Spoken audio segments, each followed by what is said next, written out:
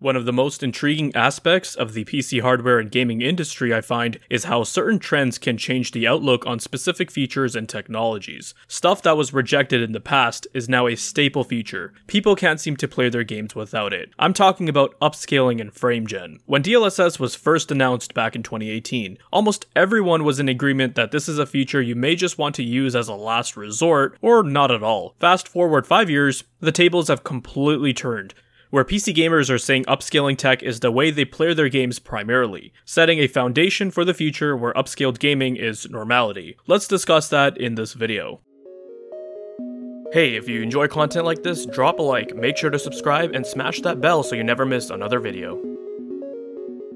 Hey, what is going on guys? Danny here, welcome back to the channel and I hope you've all been doing well. AMD's FSR3 along with their Fluid Motion Frames technology was released last week and it's created quite a lot of hype within the PC gaming community. This was a feature that many people were anticipating, especially owners of AMD GPUs, as they didn't have features that were on parity with the likes of Nvidia, such as their frame generation technology or Reflex. However, now that it's here, people are excited and I personally think AMD have done a good job with it from the first impressions I'm seeing here. They've got got something here that's working for them, so it's a matter of how they plan on carrying this momentum forward and improving upon it. For those that haven't been keeping up, FSR or Fidelity FX Super Resolution is AMD's upscaling tech. When you enable this feature in a game that supports it, the game will lower its internal resolution, then using an algorithm upscale it to a high resolution to bring that image as close as possible to native with the benefits of higher performance since you're technically running the game at a lower resolution. Frame generation works just like how the name implies. It's essentially frame frame rate interpolation, where between real frames, using an algorithm, it'll insert generated frames in accordance with the visuals on screen. This then makes the game appear to be running much smoother, since now there's more frames per second, even though they aren't technically quote-unquote real frames. And when working in tandem with upscaling tech,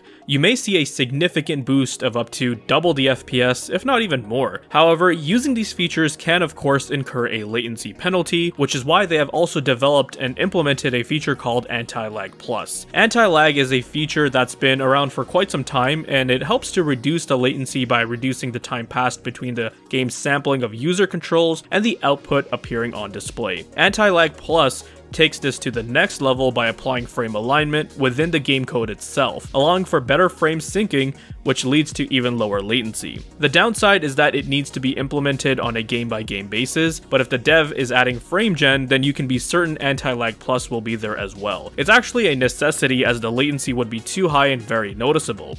Nvidia has their Reflex technology which works similarly and is available in a wide variety of games like COD, Fortnite, and most recently Counter-Strike 2. So far, AMD has released FSR 3 in a select few titles, with Forspoken being one of them, and at this point Forspoken is essentially a glorified tech demo, because it was one of the first to support direct storage, so it got some attention there, and now recently with FSR 3 it's getting a lot of attention again. But the game itself is straight up garbage and was reviewed very poorly. Right now, over on Steam Steam charts, there's only like 74 people playing it, and a similar amount playing the demo, which, if you weren't aware, the demo was also recently updated to support FSR 3. So if you want to try out AMD's frame gen tech, this is one of the best ways to do it. I tried it out briefly on my test bench, but right now I've got the 4090 in there, which means FSR 3 or DLSS 3 isn't really needed, as it performs pretty decently without them as it's such a powerful card, even at 4K with everything maxed out with ray tracing enabled. With those settings, at native settings, I was getting around 70 to 80 FPS, the game was totally playable. However, just to see what kind of performance or visual impacts we'd see, I turned on FSR 3 using the quality preset and had also enabled frame gen, and you can see the frame rate counter is reporting over double the FPS. Ignore the weird frame time behavior, with FSR 3 frame gen turned on, it's clearly not reporting the right frame times. That in and of itself is pretty impressive to see at first, however as someone who games regularly on a high refresh monitor, and usually lower settings to attain a high FPS target, it definitely didn't feel like a true 170 FPS experience. Don't get me wrong, it felt a bit smoother, but definitely not as smooth as if it was actually running at 170 FPS. Heck, even native 120 FPS feels smoother. With that said, the latency wasn't bad at all, I really had no complaints, and I'm sure we can attribute that to Anti-Lag Plus doing a decent job. Visually, I didn't see too much artifacting, but I could see more blur than usual, especially during fast panning actions, especially in areas like the grass, like in a fight for example, where you need to be looking around a lot, it was also noticeable there, so that was detrimental to the experience. But overall, the limited experience I had using FSR3 was that it's alright, and then bear in mind, we were also getting decent performance as our base FPS, and I may need to revisit this again with a slower GPU, one where we can't get as high of a frame rate at native quality settings. For tech like FrameGen and upscaling, having a high base FPS at least 60 makes a big difference, especially when it comes to input lag. I'll also have to try out other games with this once the tech is more widely adopted, because different games can have different implementations, and it also works better with some different engines, something that I did notice with Nvidia's DLSS and their frame generation tech. There are plenty of videos out there on YouTube that showcase people using this technology and lower tiered graphics cards, and also show comparisons of native versus upscaled, along with frame generation. So I recommend checking them out if you're looking for more more immediate info pertaining to that. What I wanted to shift our focus to next was the reception towards FSR 3, DLSS, and FrameGen in general from the PC gaming tech community, now that we've also gotten AMD to join Nvidia with their FrameGen tech. What kind of implications are we looking at when it comes to PC gaming? I mentioned this at the start of the video, but one of the things that's always fascinating to me is how over time stuff that was rejected in the past ends up becoming tolerable, accepted, and even highly sought after. And this doesn't doesn't just apply to tech, but I remember when DLSS first came out in 2018, a lot of people, myself included, were quick to disregard it. Here, DLSS looks worse than a 1685p image at the same performance. So enabling DLSS in a real-world game like Battlefield 5 is actually worse than using simple resolution upscaling that's been available in games for decades. And that's why DLSS is complete rubbish. Now, to be fair, over time the software engineers at Nvidia and AMD have done a tremendous job at improving the technology. Just go back and take a look at some of the old DLSS and FSR 1.0 footages. They were terrible. The image quality was noticeably worse than native, but now with these newer iterations, they've improved the algorithm so much that the image quality in many cases is comparable to native, at least to my eye, when using just a quality preset. I personally don't go below the quality preset because to me then it becomes noticeable. But what I mean is that sometimes when using these upscaling features and using the different presets, it's hard to distinguish between native, and you have to be really zooming in and really looking for the differences. And let's be real here, who's really playing their games like that? Hence, people's opinions have gradually changed from a negative one to a more positive one. Of course, we can't forget about one of the biggest advantages, which is the performance uplifts, and this is also what's very attractive to people. And something I wanted to touch upon from one of my previous videos where I talked about people are reluctant to go into a settings menu and lower some settings. I could be wrong, but I think it's more of a psychological thing. You guys can let me know in the comments below, but I think people are more comfortable running settings on ultra or high with upscaling rather than playing at native with a mixture of low, medium, medium, and high settings. Which sounds better to you, upscaled with ultra settings or native with optimized settings? When Nvidia first announced DLSS 3 with frame generation, a lot of people over on the AMD subreddit were quick to bash the technology, denouncing it as quote unquote fake frames, some going as far as to say you should just write 999 on a sticky note and place it on the corner of your screen. As soon as AMD announced FSR 3 with frame generation, all of a sudden the outlook changed to a more positive one. Then once we got the FSR 3 update for Immortals of Aveum and Forspoken, the comments I've seen regarding FSR 3 makes it sound like it's one of the most revolutionary tech in the history of PC gaming. It's a total 180, so I personally found the duality there to be absolutely hilarious. Though just reading through a lot of these comments, seeing the videos people were making surrounding FSR3, it seems to have been accepted really well, with mostly positive feedback. This thread by a user on Reddit states FSR3 is amazing, gone from the 50 FPS range to a constant 120 FPS, looks great, amazing tech. Another user posted their findings with a 6700 XT, and they seem to be in agreement for the most part. Here's another post stating they're really pleased with the results from FSR 3, as it's providing them with a satisfying image quality and performance boost at the same time. I've seen comments on YouTube videos stating similar stuff. People saying they're really happy with the results, some stating their experience has been close to native, and that they're actually feeling the performance boost. Now this is all subjective at the end of the day, and it really comes down to user preferences. This person wrote that they tried it on their RX 6700 and went from 45 to 90 FPS according to the FPS counter, so that's a double, but it didn't feel like they were actually running at double the frame rate. So their experience is very similar to the one I had. You can tell it's running a bit smoother, but it's definitely inferior compared to how it would have actually ran if it was really running at 90 FPS. And they also stated native looks better to them. One of the other downsides I keep reading about is that apparently FSR 3 FrameGen doesn't work with FreeSync or VRR, which those technologies also help with smoothness. So if it really doesn't, I think that's a big blunder on AMD's part. And you know, that's a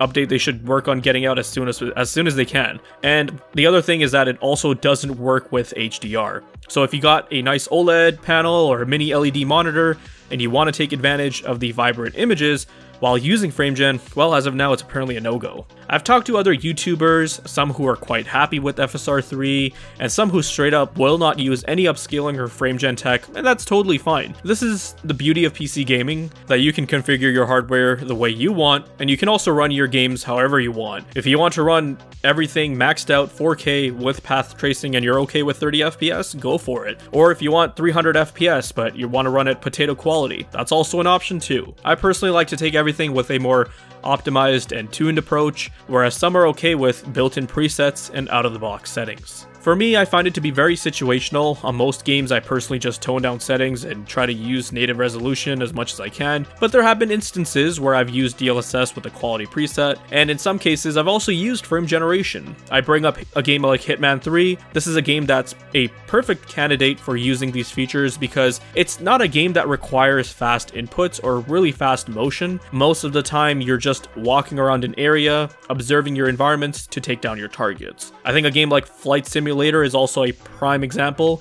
You're just flying a plane and you're just looking at the environment. Again, you don't need fast inputs from the user, so frame generation is perfect there.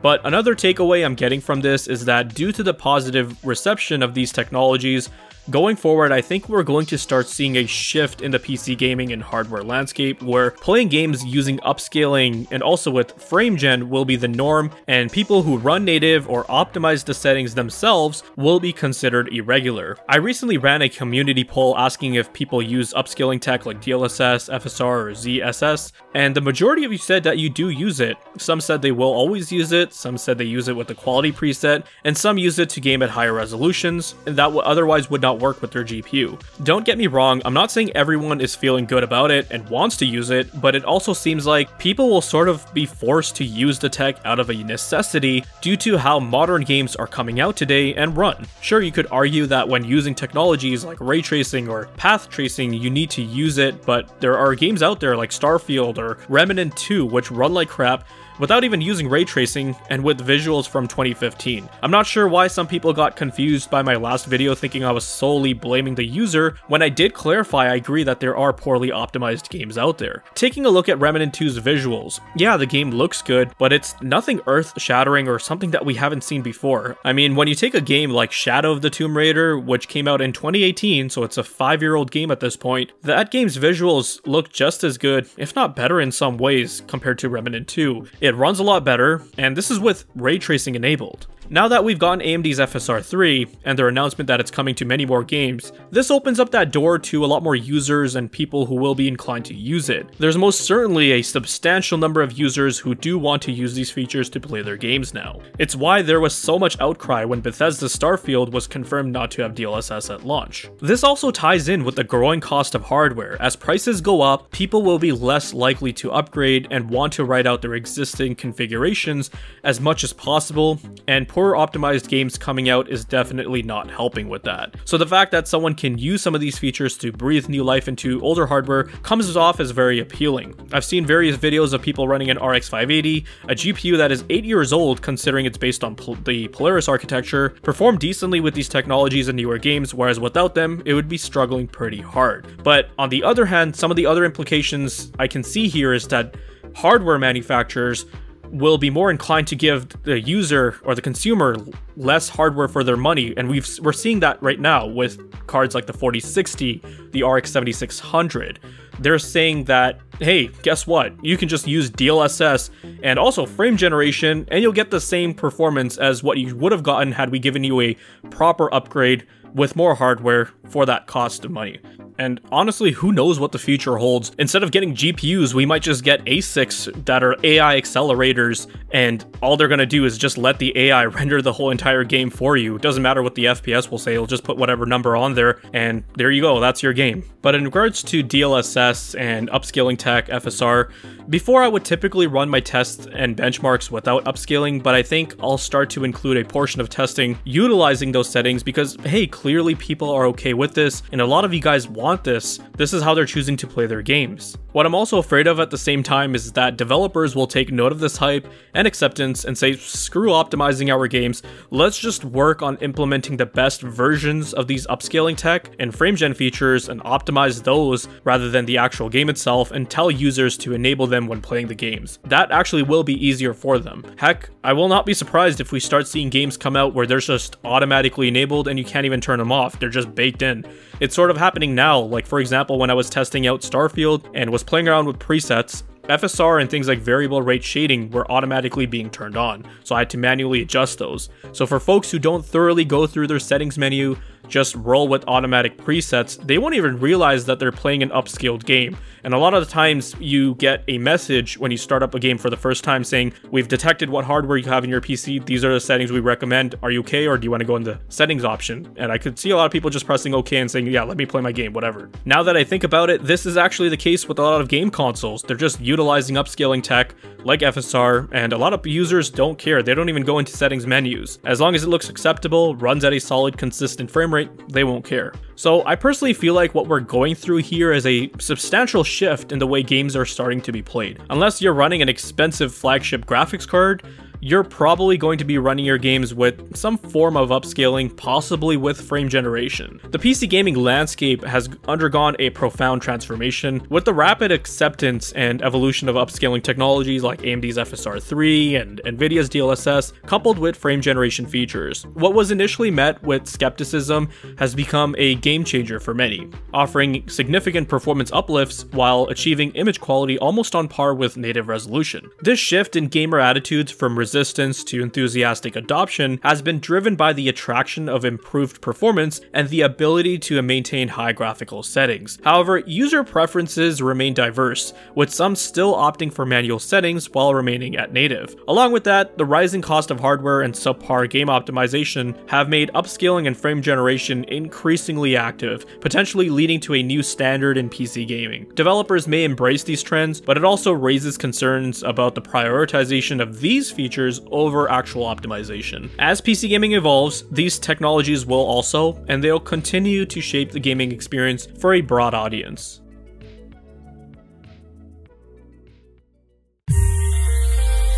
If you guys found this video to be informative and entertaining, then leave a like.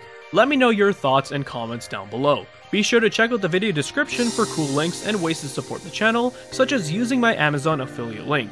And if you're interested in seeing more content like this, then consider subscribing, I'd greatly appreciate it. Thank you guys so much for watching, take care, and I'll see you in the next one.